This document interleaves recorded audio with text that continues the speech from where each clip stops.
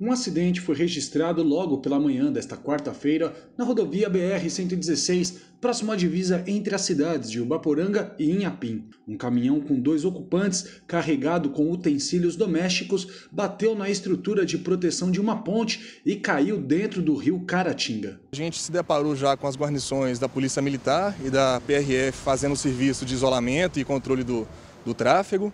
É, os bombeiros civis de Ubaporanga já haviam prestado ali os primeiros atendimentos às duas vítimas, né? Se tratava de um homem, um, um homem que era o, o motorista e o carona, né? O motorista do caminhão foi identificado como Messias Nogueira Rodrigues, de 53 anos.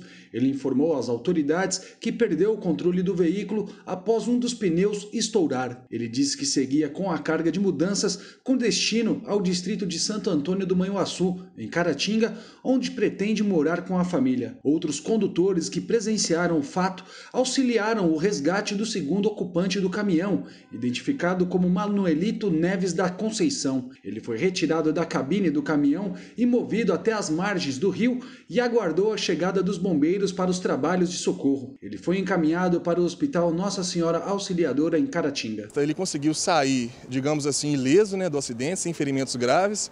Já o carona, ele ficou numa situação mais complicada, ele ficou desacordado, é, acabou ingerindo ali um pouco de água, né, entrando num princípio ali de afogamento, mas rapidamente as pessoas que passavam no local ali conseguiram retirar ele da água e com a chegada dos bombeiros civis de Ubaporanga, ele foi imobilizado e foi feito os primeiros socorros.